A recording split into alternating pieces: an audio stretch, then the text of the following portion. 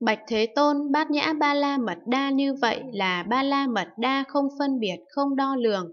Phật dạy như vậy là vì sự phân chia hạn định các pháp chẳng thể nắm bắt được. Bạch Thế Tôn bát nhã ba la mật đa như vậy là ba la mật đa như hư không. Phật dạy như vậy là vì đạt được sự không ngăn ngại của tất cả pháp.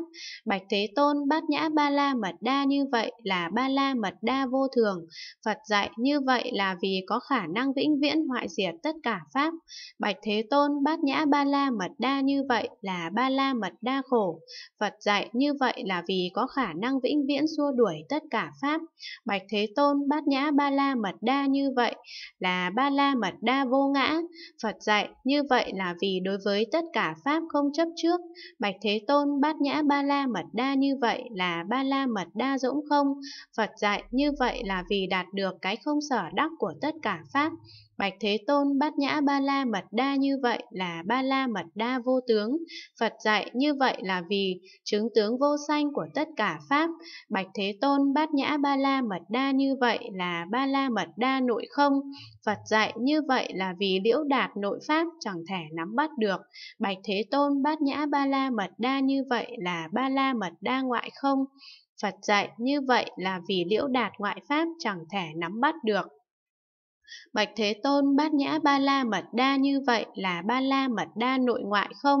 Phật dạy như vậy là vì liễu đạt pháp nội ngoại chẳng thể nắm bắt được.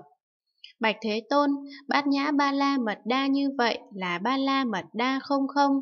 Phật dạy như vậy là vì liễu đạt pháp không không chẳng thể nắm bắt được. Bạch Thế Tôn, bát nhã ba la mật đa như vậy là ba la mật đa đại không. Phật dạy như vậy là vì liễu đạt pháp đại không chẳng thể nắm bắt được. Bạch Thế Tôn, bát nhã ba la mật đa như vậy là ba la mật đa thắng nghĩa không. Phật dạy như vậy là vì Pháp không thắng nghĩa chẳng thể nắm bắt được. Bạch Thế Tôn, bát nhã ba la mật đa như vậy là ba la mật đa hữu vi không? Phật dạy như vậy là vì các pháp hữu vi chẳng thể nắm bắt được.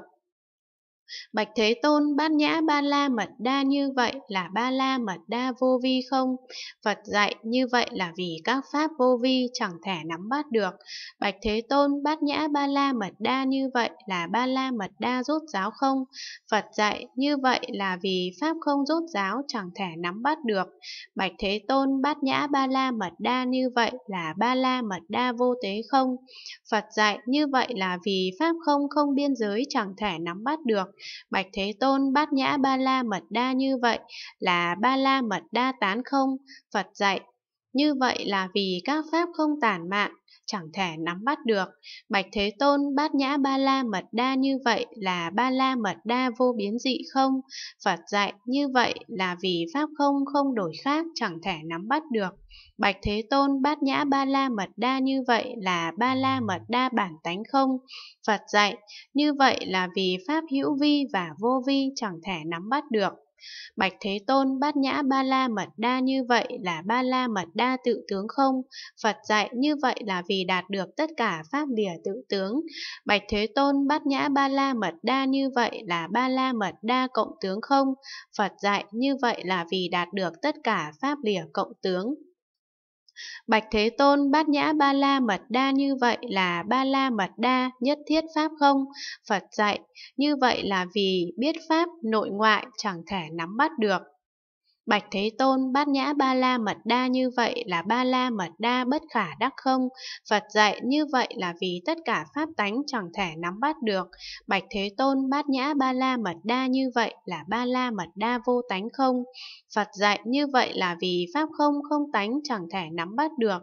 Bạch Thế Tôn, bát nhã ba la mật đa như vậy là ba la mật đa tự tánh không? Phật dạy như vậy là vì pháp không tự tánh chẳng thể nắm bắt được. Bạch Thế Tôn, bát nhã nhã ba la mật đa như vậy là ba la mật đa, vô tánh tự tánh không? Phật dạy như vậy là vì pháp không không tánh tự tánh chẳng thể nắm bắt được.